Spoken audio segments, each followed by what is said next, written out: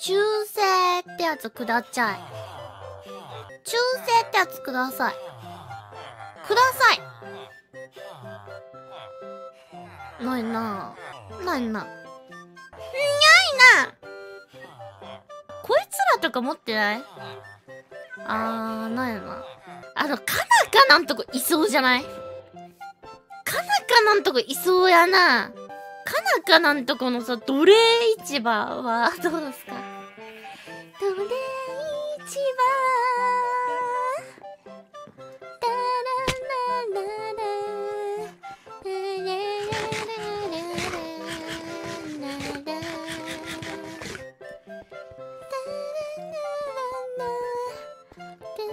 ラワンチャンいそうじゃないかなんかなんとこ。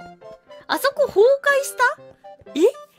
あそこだってさめちゃくちゃだって50人ぐらいいいたよ？奴隷。嘘。いなくなった？奴隷もしや。そんなそんなことってあんの？50人の奴隷囲ってたぞ。そんなさ歴史を見てもそんな50人の奴隷囲ってるようなやつっていないけどね。ガサ入れがあった。絶対殺されてんじゃん。怖すぎ。大悪党じゃんねもう。奴隷革命があった。かっけ。え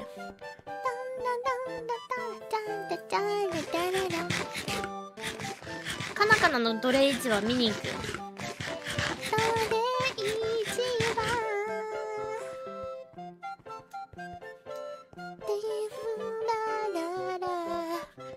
一気起こった。でも一気を許すような人間だとは思えないんだよな。かなかなはね。でもさ突待ちの時にさあの人一人ぐらいは殺すって言ってたよ。高宮さんが相談乗ってくれたおかげですよ。いやそんなとんでもないですよ本当に。何でも言ってよ。ほんドルもやろうよ。困ったら言って。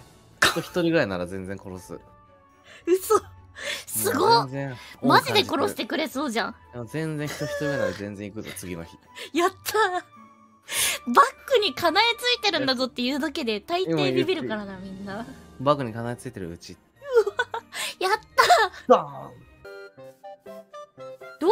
どこだっけ奴隷市場かなんかなの？あれここじゃないなあれ地下だっけ？殺人鬼の住む家。うわここどうした？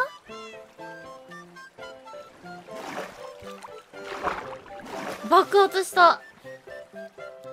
デスゲーム終わった後みたいになってる。奴隷いなくなってんねマジで。ってる。封鎖した？もうこれ100年後に観光地になるとこじゃん。やばすぎ。やばすぎ。歴史の教科書載るぞ。2時3時の。あ本当にいないな。おじさまんとこ行くか。なんで吹っ飛んだ後に埋められたんだ全部。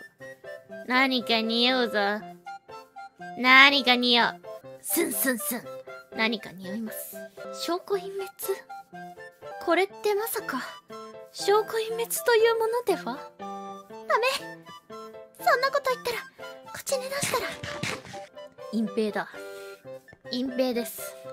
おじさまもやばいからなおじさまの家も。相当